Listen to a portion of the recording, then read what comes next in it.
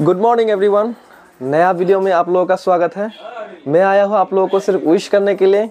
Happy लोरी और सभी असमवासी लोगों के लिए माघ बिहू का ढेर सारी शुभकामनाएँ। सब खुश रहे और ये नया नया बिहू के बाद जो भी मतलब है जैसा भी सोचा है, भगवान, अल्लाह, गॉड सभी का मनोकामना जल्दी से पूरा करे।